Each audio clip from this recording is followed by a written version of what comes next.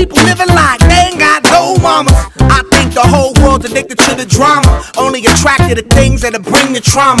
Overseas, yeah, we trying to stop terrorism. But we still got terrorists here living in the USA, the big CIA.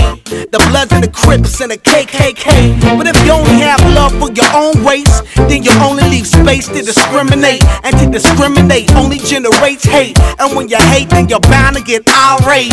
Yeah, madness what you demonstrate. And that's exactly how anger works and operates. Man, you gotta have love just to set it straight.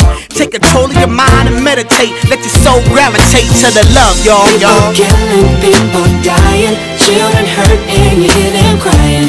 When you practice what you preach and what you turn the other cheek. Father, Father, Father, help us and some guidance from above. These people got me, got me